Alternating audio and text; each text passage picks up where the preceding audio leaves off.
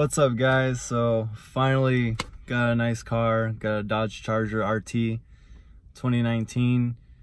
Um, just glad I could finally get something nice. This is, as some of you know, my last car was a Infiniti G35. It was a 2003 model and it just, it broke down on me before I left for the deployment.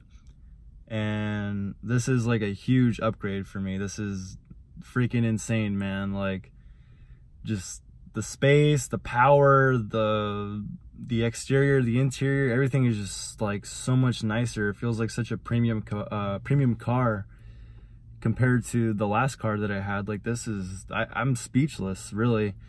Um, even after all the driving that I've done since I've been here, uh, I've had it for about two weeks and I've already put about like 1500 miles on it.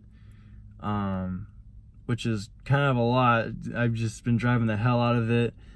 Uh, basically just been kind of driving like an old lady really because out here in California the uh, there, there's a prevalent amount of uh, police and sheriffs and highway patrol so can't really do a whole lot but it's still nice you know? It, it gets pretty good gas. Like right now it's like 30 miles per gallon on the highway. On the streets it kind of eh, you know it's all right it's not like a Mustang or anything. I know those guys, they, uh, I'm not dogging on Mustangs or anything, but I know those Mustang guys kind of have a hard time with miles per gallon, especially on the street, getting like maybe 15 if they're lucky. But if I drive normal, I could probably pull about 25 or 19 miles per gallon on the street. Um, but on the highway, definitely a good solid 30 miles per gallon. But so I haven't really done any mods to this car except for two things. So I did a K&N drop-in air filter to get a little bit better gas mileage. if anything, it's like a one horsepower gain. You're not really gonna see that. So if you see here, I also did an interior trim. I bought this at AutoZone for like 20 bucks. It came with a bunch of tools, so that's why it's a little expensive. Uh, basically, so far, it only came up with enough to put in the steering wheel, all over the dash, and around the air conditioning unit. And that's really about it. But later on, I definitely want to do the uh, the side panels of the doors. Um, probably back here where the air conditioner is at. Probably put it in these creases right here. And just really along all the doors and stuff. And by the way, I'm really tall. And I actually, I mean, my knees are hitting the the uh, the seat but really not that bad. I mean, I'm actually pretty comfy back here. The seats are actually very comfortable. They're like bucket seats, especially the uh, the front passenger and driver seat. They're very, very nice. They they definitely hug you. And um, this this car's just got a lot of features to it. I love it. So next up we have the entertainment system. Pretty uh, simplified into this this little eight inch, eight and a half inch, I believe, tablet and um, all your other controls are down here where you have your volume, your tuning, uh, your sport mode, your super track pack. Um, from my knowledge, you have to drive 500 miles to unlock the super track pack uh, just to get through that break-in period. And then you have your air conditioning unit right here, even though you can control it on the screen right here.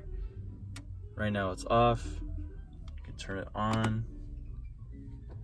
Oh, sorry, that's why the car's off right now. That's why the uh, air conditioner is off. And then you can turn it on once the car's on. And then you have your different settings you can go through. Pretty simple stuff. Not a bad gig. And then you have your Uplay apps you got your performance pages, all the good stuff, mirror dimmer, uh, performance control, Wi-Fi hotspot, all the goodies.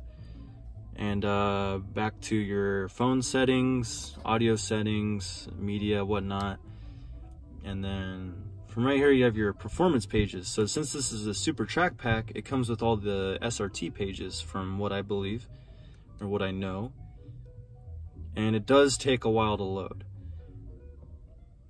and then you can see all your stuff like your your g-force your power the current gear this is an 8-speed automatic transmission Unfortunately, Chargers don't have any manual transmissions.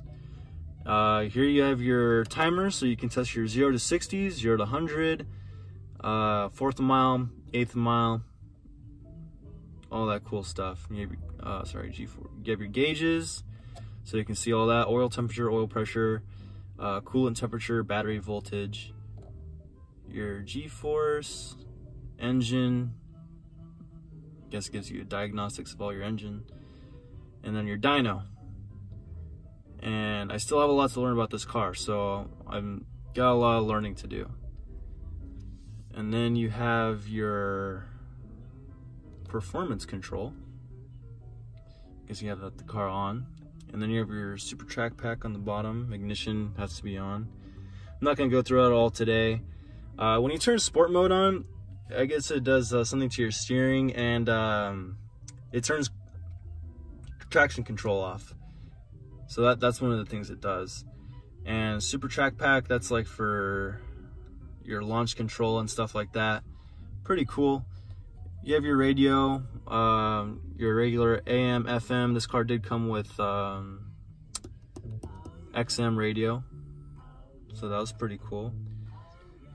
But so far, I'm loving this car. I really like it. I like the way it sounds. And uh, I'll show you guys an ignition clip right now with some revs. Hope you guys enjoy.